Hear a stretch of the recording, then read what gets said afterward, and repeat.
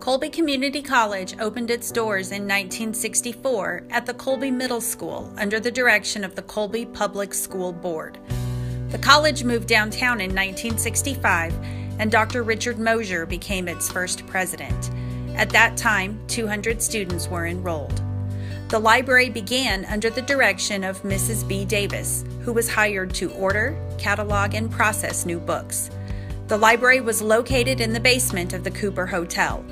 For a short time, September to November of 1967, the library was located in the rear room of the former Pyramid Restaurant located at 1070 West 4th Street. In the fall of 1966, Mrs. Ruth Lowenthal was hired as the first library director. She had the privilege of moving the library to its present location on November 13, 1967. The dedication of the library was held on November 16, 1968. The library was dedicated and named the H.F. Davis Memorial Library in honor of H.F. Davis, a homesteading pioneer on whose land the college was built. In 1983, in need of space, an addition was built to the north end of the library. This annex added approximately 2,700 square feet of space to the library and to the basement of the building, creating two additional classrooms. In 2009, the Comprehensive Learning Center was moved into the west end of the annex, providing a computer lab for students and patrons to use during library hours.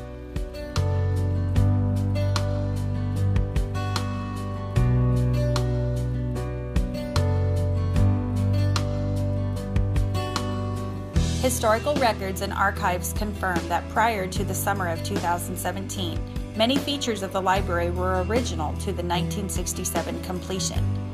Couches and lounge chairs were donated to the library in 2005, adding to comfort and ambiance. However, the majority of the furnishings, including tables, chairs, desks, and study carrels, dated back to initial furniture purchase in 1967. Carpet in the Comprehensive Learning Center was original to completion, and the remainder of the library carpet dated back to replacement in 1992. It showed extreme wear and was in places a hazard due to buckling. While this is a testament to they don't make things like they used to, college administration and library staff determined that the library was in desperate need of an update to better accommodate patron need.